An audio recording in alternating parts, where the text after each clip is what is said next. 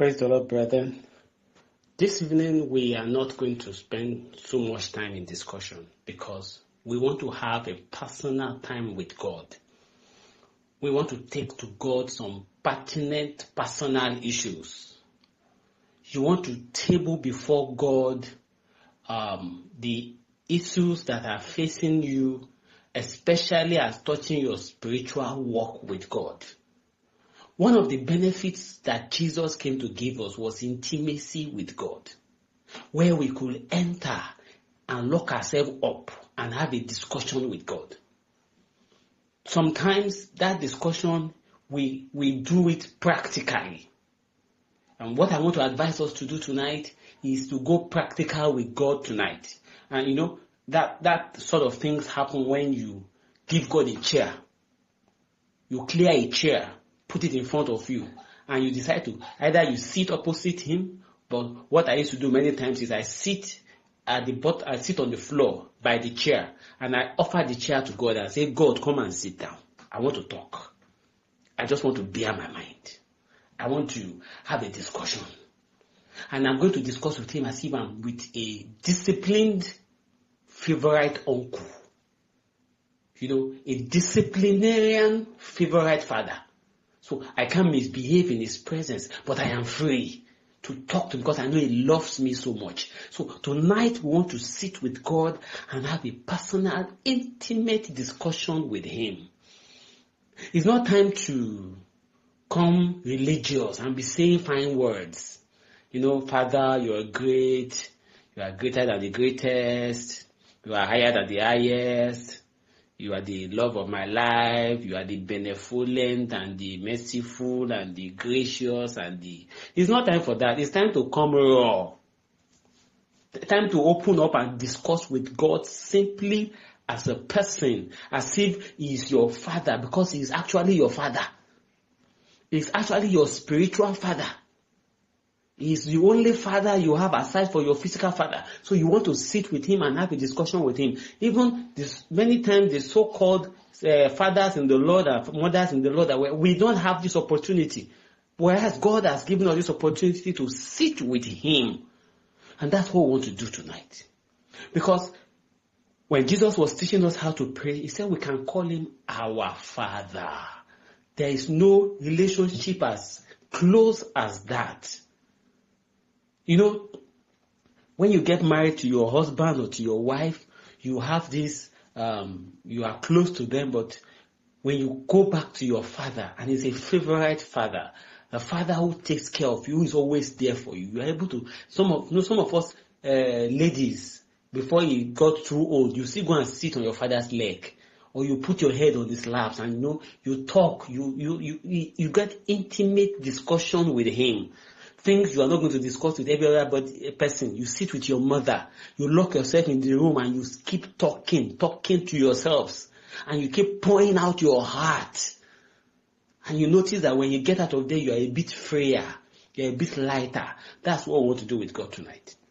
It's a night where we have our personal, intimate discussions with God. And you know, relationship with God goes deeper the more intimate moments you spend with him. And your, your going to heaven becomes better, clearer, and closer the, the more you have this intimacy with God. I will give us um, like two examples that I have. Number one, I there was a time I, I wasn't praying like before. I my days were too busy and I was just so by the time I usually go for my prayers when everybody has slept. So I'll go for it. Where I live I can go for prayer walks. Even when the kidnappers and some other funny funny elements were working, I was still able to go for my prayer walks. So I used to go for my prayer walks in the night. But after a while I was I got too busy and I got so tired easily I could not go for prayer walk. So I was sleeping. I would just, after the day, I just sleep off. Do you know that God went to report me to my wife? Tell your husband I'm missing him. He has not come for the prayers.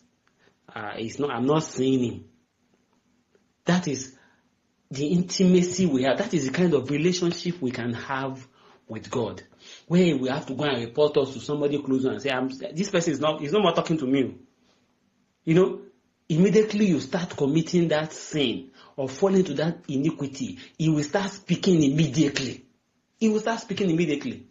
I remember the day I was, I was, I was standing and the, a jeep passed. It's a jeep I bought for my wife before, a Volkswagen Touareg, and um, it passed. So I was like, hmm, fine car. I wish I could buy this car for my wife again. Immediately the Holy Spirit answered me, hmm, so you are not even cured.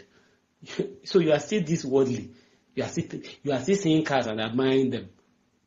Am I not the one that will provide you any car I feel like providing for you? Is it your duty to be? I, I said, ah, I'm sorry, I'm sorry, I'm sorry, I'm sorry. I'm not admiring it again.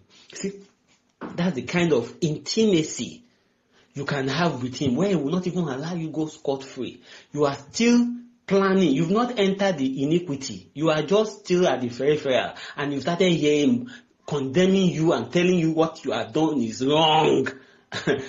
so that helps you not to even fall to it at all. So I didn't even have time to start thinking and start planning of, okay, how will I buy it before I now enter iniquity of diverting money that is not meant for a car, for to go and buy a car. You see, he has stepped in immediately. That's the kind of relationship that God wants us to have. Of recent, um, I my tire got spoiled. Though I was even surprised that the tire was still was still okay. It was it has torn, and yet the car was still moving. The car, tire was still moving. I was surprised. So I changed the tire. I put the extra tire there. I was now concerned that I don't have extra tire because this tire is bad. And you know, in that process, throughout that day, I did not take it to God in prayers. I just was thinking about it that ah, and the money I have with me is not even enough to buy tire. I had other expenses to be spent and I have tire to buy. So which one do I do now? Which expense? Do I do the expenses or do I buy the tire? Hmm, I was bothered about that. And I did not, I went into other things that day. I did not take it to God in prayers. Brethren, that night, I slept. And the next thing I discovered was that in my dream, I had a revelation. I was in court. And my offense was fraud. I have committed fraud. And um, the the judge was not too happy with me that I've committed fraud. Somebody actually, some people actually were the accusers accusing me of committing fraud. But the judge now said he will have mercy. He will have mercy. I should go and correct my ways. So by the time I woke up, I was like, I should go and correct my ways. What have I done?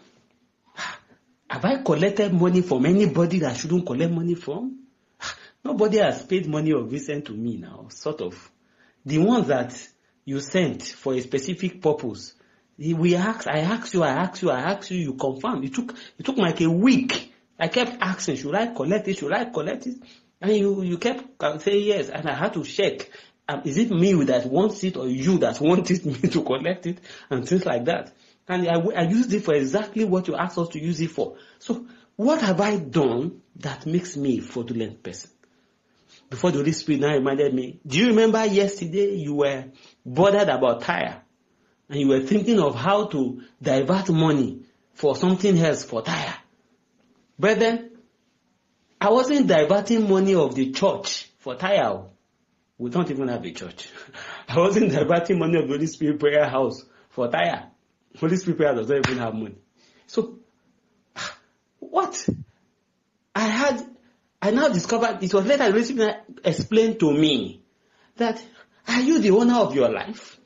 So the expenses I asked you to undertake for yourself over this other matter, why are you trying to divert it to go and spend it on buying tire? Is that not fraud? Are you the owner of the money? Are you the owner of the life? Are you the owner of the tire? Are you the owner of the car? So why are you thinking of diverting the money for another thing. Why? that alone, I was accused of a fraud. Brethren, that is how intimate we can be with God. That is how God can, can come hard on you even before you commit the sin. The things we don't even consider as sin that are iniquities. We can't, you know, it is not, don't touch your neighbor, don't kill somebody, don't do violence. No, no, no, no, no, no.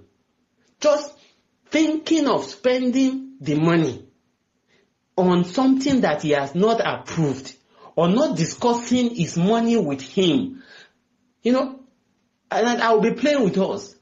That money, he has told me that, okay, you are using this money to buy groceries for the house. So I was now thinking of cutting the groceries and buying tire. and that's what he accused me of fraud immediately, that I was a fraudulent person. Because he wants to feed me with that money. He's not buying tire. When it's time to buy tire, he will buy tire. But then you'll be surprised. By the time he now led me to go to where I kept money, to count the money for the uh, groceries I was to buy, because I kept the money somewhere. By the time I count the whole money, I discovered that inside the mo- money was more than what I thought it was. So the money there was able to buy a tire and take care of the groceries.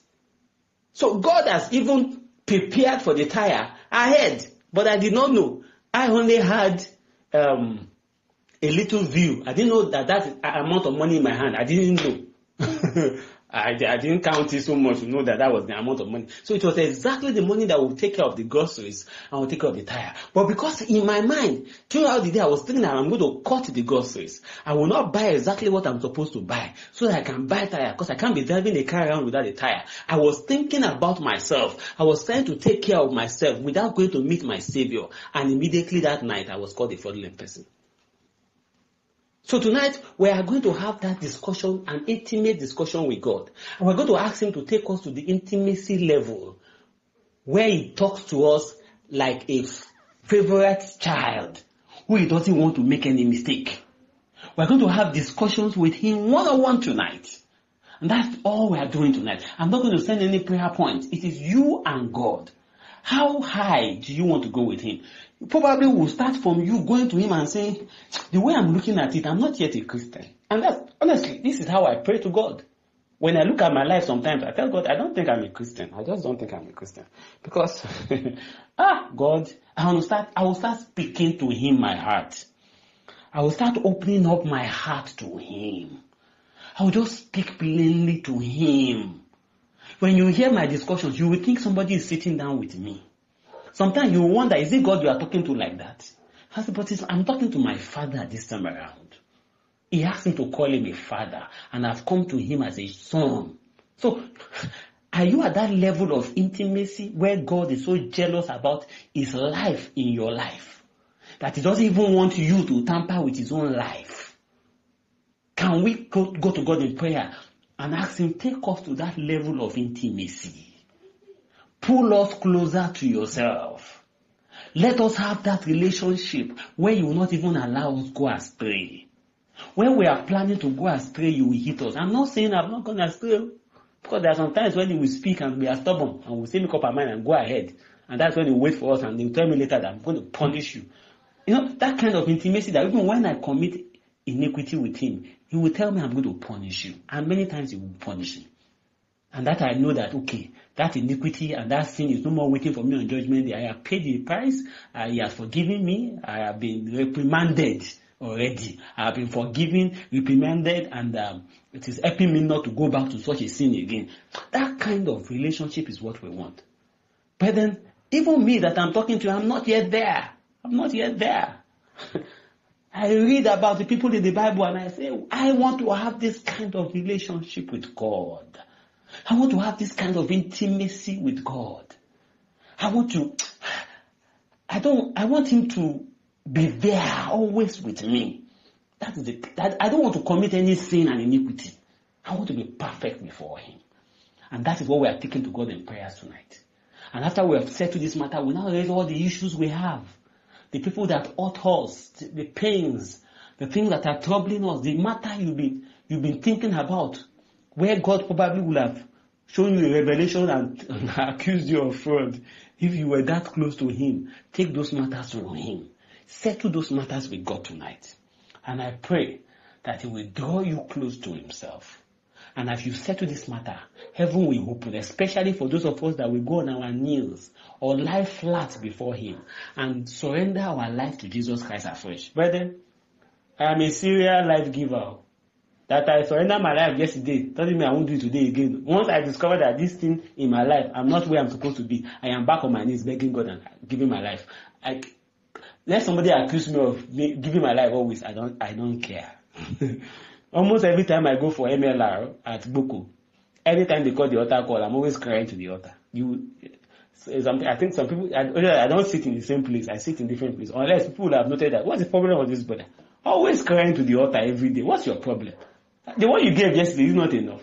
But once I discover that, ah, in this aspect, how can somebody be this close to God and I'm not? I'm going to the altar. I'm going to surrender my life. I remember the day we preached and the whole church came out. But before even any member of the church got to the altar, me that was preaching, I had gotten down from the altar and come to the floor and moved to the altar myself to give my life to Jesus Christ. I was the one that preached the message. I was the first to go out for altar call. Whatever is going to take me, I'm going to go to heaven. I want to go to heaven. I want to go to heaven. So, brethren, tonight is a night between you and God. Can I challenge you to spend quality time with God tonight? Quality moment with God tonight. And I pray that God will answer your prayers in Jesus' name. And He will give you responses. Even if you cannot hear Him very clearly, He will come via revelations. He will come via speaking to you. And I decree into your life that the patience to wait upon God, God will give to you in Jesus' name.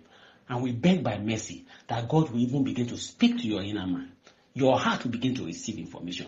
In Jesus' mighty name we pray. Amen. So please, brethren, go into your prayers now.